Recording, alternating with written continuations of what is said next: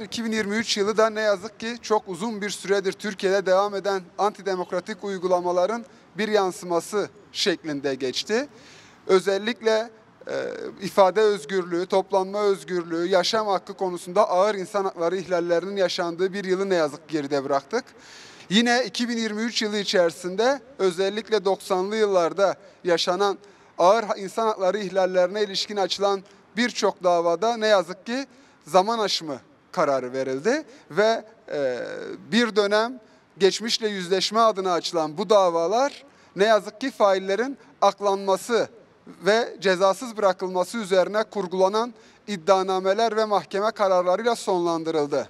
Vartinis davasında, Lice davasında bu kararlar verildi. Geçtiğimiz hafta Diyarbakır'da görülen Mehmet Sincar davası da bu böyle bir sona doğru götürülmek isteniyor. 2024 yılının başta coğrafyamız olmak üzere bütün dünyada çatışmaların sona erdiği, barışın inşa edildiği, insan haklarına saygı ilkesinin korunduğu bir yıl olmasını temenni ediyoruz.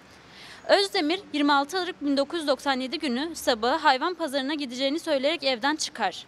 Buradan bir arkadaşın evini ziyaret ettikten sonra hayvan pazarının yakınındaki bir kahveye gider. Görgü tanıkları Mehmet Özdemir'in kahvede arkadaşlarıyla otururken silahlı, sivil kıyafetli ve ellerinde telsiz bulunan iki kişinin Özdemir'e kendileriyle birlikte gelmesini söylediğini, bu kişilerle dışarı çıkan Mehmet Özdemir'in beyaz bir taksiye zorla götürüldüğünü belirtir. Yine arabanın içinde üçüncü bir kişinin de oturduğunu görenler Özdemir'in arabaya binmemek için uğraştığını, kendini yere attığını, onu tutan kişilerden kurtulmaya çalıştığını da belirtirler. Ancak Mehmet Özdemir bu kişiler tarafından zorla şiddet uygulanarak arabaya bindirilip oradan götürülür. Olaya orada bulunan birçok kişi tanık olur. Olayın tanıklarından biri okuma yazması olmadığı için arabanın plakasını alamadığını söyler. Yapılan tüm başvurulara rağmen Mehmet Özdemir'den bir daha haber alınamadı.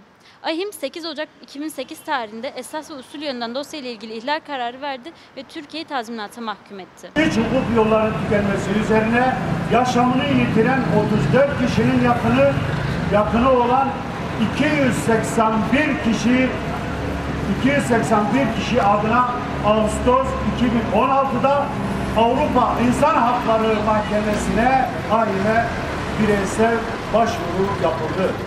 AİM Roboski için yapılan başvuruyu iki gün geciktiği yere reddetti.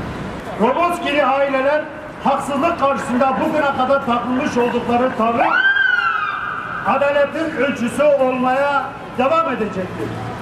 Bu ölçü gelinen noktada iktidarın yoğun bir saldırısına maruz kalmış olsa bile adaletin tecelli edeceği gün gelene kadar Roboski ailelerin ve insan hakları savunucuların mücadelesi devam edeceğini buradan bir kez daha yeniliyoruz.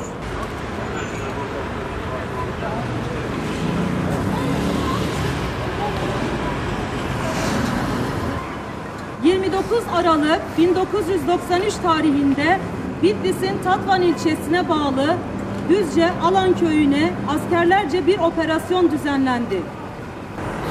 30 yıldır hukuk mücadelemiz sürüyor. Ve bu tarihte Korkmaz Tağma, Kelle Kesen lakaplı Korkmaz Tağma, Arif Doğan'ın ekibinde ve bu bilindiği halde hiçbir şekilde yargılanmadı. Failleri belli olduğu halde yargılama yapılmadı. Ama 30 yıl geçse dahi, bir 100 yıl dahi geçse hukuk mücadelemizden hiçbir zaman vazgeçmeyeceğiz. 24 Aralık 1994 tarihinde Bahçeci ailesini telefonla arayan ve kendisini İsmail'in arkadaşı olarak tanıtan bir kişi oğlunuz gözaltında ona sahip çıkın diyor. Baba Şehmuz Bahçeci hemen Gayrettepe Emniyet Müdürlüğü'ne ve Devlet Güvenlik Mahkemesi İstanbul Cumhuriyet Başsavcılığına başvurdu. Ancak İsmail'in gözaltına alındığı inkar edildi. İl Bahçeci'nin akıbetini, bedeninin bulunduğu yeri ve bu insanlığa karşı suçun tüm sorunlarını açığa çıkarma görevini yerine getirme çağrısında bulunuyor.